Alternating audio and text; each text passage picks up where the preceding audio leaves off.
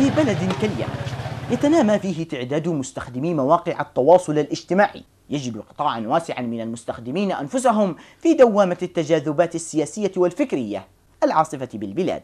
غير أن آخرين صنعوا من تلك المواقع وسيلة لمد يد العون للآخرين. كحال المعلم في ثانوية المكلا النموذجية سالم باراس الذي جعل من صفحته الشخصية على الفيسبوك وسيلة يسهم من خلالها في مساعدة الفقراء والمحتاجين. من خلال تسليط الضوء على معاناتهم وجمع التبرعات المالية والعينية لهم من المتصدقين داخل البلاد وخارجها. طبعا مواقع التواصل الاجتماعي استغلت استغلال غير طيب. يعني الناس كل, كل الناس تتكلم في السياسة المناكبات السياسية الجانب المناطقي الجانب القبلي القبلي القبيلة والحزبية. قلت أنا في نفسي يا سالم باراس ليش ما تحول هذا الكلام إلى جانب خيري؟ طبعا الحمد لله نجحنا نجحنا نجاح طيب إن شاء الله. ومع اكتسابه لثقة المتصدقين.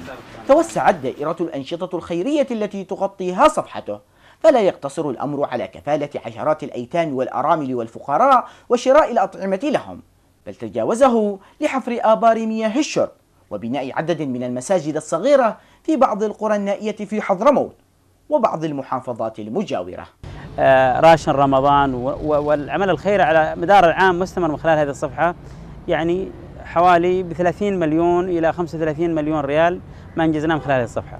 وأمام عمل كبير كهذا تكون التحديات الفردية أكبر غير أنه وكما يقال فوراء كل رجل عظيم امرأة وهذا ما ينطبق على سالم الذي يقول إن زوجته كان لها دور كبير في دعمه ومساندته وشحذ همته لمواصلة مساعيه الإنسانية متى شعر هو بالتعب والوهن.